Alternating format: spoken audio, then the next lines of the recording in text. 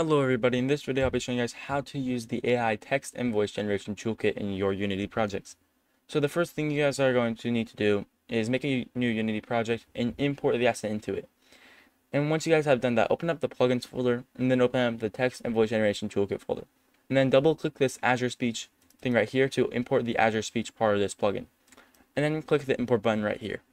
Once it's imported into your Unity project, you're just going to need to open up the folder for Azure Speech and then double click the documentation to open it up.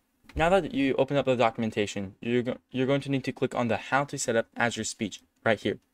But if you're on version 1.2.4, the header is broken, so it will not work, and you're just going to have to scroll down to the third page. So once you guys are here, click the Azure portal, and then you guys are going to need to sign in, sign up for a new account if you guys do not have one, or log in. So once you guys are here, you guys are going to need to click create a new resource and then search for speech. And then open up the speech right here. Make sure it's made by Microsoft. And then click create. And now you're going to need to choose a resource group. If you guys do not have one I recommend creating a new one. And then you guys are going to need to choose a region.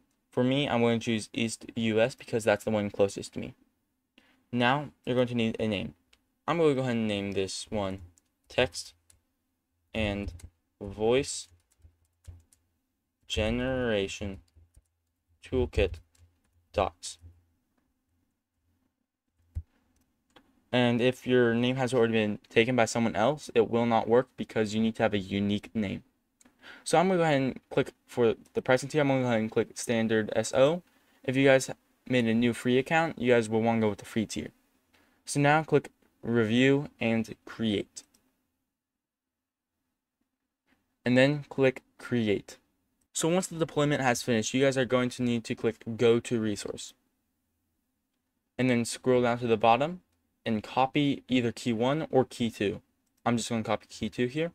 And then minimize the browser and go back into Unity. Now you're going to need to open up the config file, editor, Azure speech key. Then paste your key right here. This will only work for in-editor usage. If you guys want something for in-game usage, you guys can use the Azure Key Vault. If you guys do not know how to set that up, there's a link in the description on a video on how to do that.